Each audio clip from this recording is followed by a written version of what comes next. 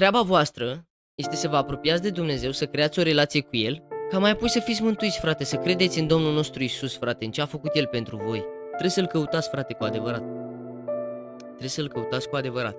Să vă doriți, să vă deschideți inima și sufletul. Abia după, abia după toate vor face sens. Deci îmi adresați întrebări și doriți răspunsuri pentru situații în care voi nu vă aflați și pe care nu aveți cum să le înțelegeți, frate. Nu aveți cum. Nu aveți cum. Nu aveți cum. Și de aceea trebuie să o luați treptat, frate. Citiți cuvântul lui, citiți Biblia, frate, luați-o treptat. Formați o relație cu el. Vorbiți cu el, frate, zi de zi, zi de zi, zi de zi, zi de zi, zi de zi. Și de câte ori simțiți, de câte ori aveți o problemă, vorbiți cu el, frate. Mărturisiți lui tot, tot, toate problemele voastre, toate supărările voastre. Doamne, sunt supărat, Doamne, Doamne, sunt trist, uite ce s-a întâmplat, uite ce s-a întâmplat azi, cu, uite ce mi-a spus ăla, uite ce... Ajută-mă, Doamne, fă-mă bine, Doamne, ajută-mă, ajută-mă, ajută-mă, ajută Uite ce mi se întâmplă, uite cum, uite cu ce mă confrunt, Doamne. Creați o relație cu El, frate. Nu, nu, vă, nu vă mai mărturisiți problemele și astea la lume, la, la oameni. Pentru că oamenii nu vă vor cu adevărat binele. Oamenii știți și voi foarte bine, nu trebuie să vă spun. Nu trebuie să vă spun eu. Nu trebuie să vă spun eu. Dar aici nu mă refer la oameni, mă refer la oamenii lumii. Nu mă refer la oamenii, adică la oamenii lui Dumnezeu, la copiii lui Dumnezeu. Nu mă refer la... Mă refer la oamenii lumii, frate.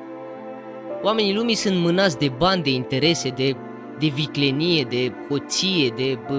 Ziceți voi, ziceți voi. Oamenii lumii au interese, au, au scopuri ascunse, au...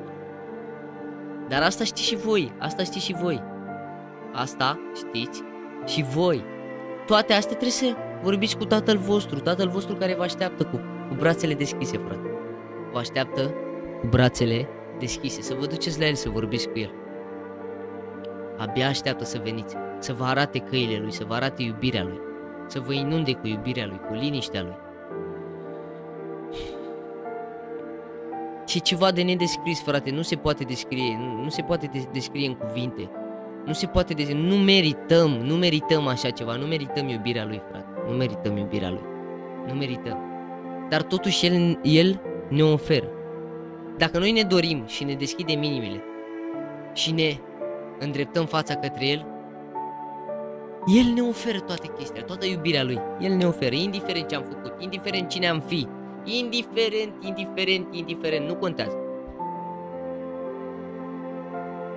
Indiferent.